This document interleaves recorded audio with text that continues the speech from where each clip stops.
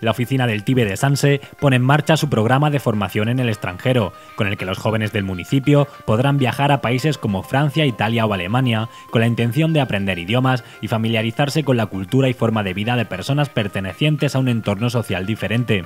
Los estudiantes podrán elegir entre francés, inglés, alemán, chino, árabe, italiano, portugués o ruso. La propuesta ofrece la posibilidad de realizar un viaje en Interrail con el que visitar Europa, hospedándose en albergues juveniles. Los cursos están abiertos a jóvenes de hasta 31 años, que podrán solicitar toda la información relativa a inscripciones, transporte y alojamientos en la oficina del TIBE ubicada en el Centro Joven Sanse.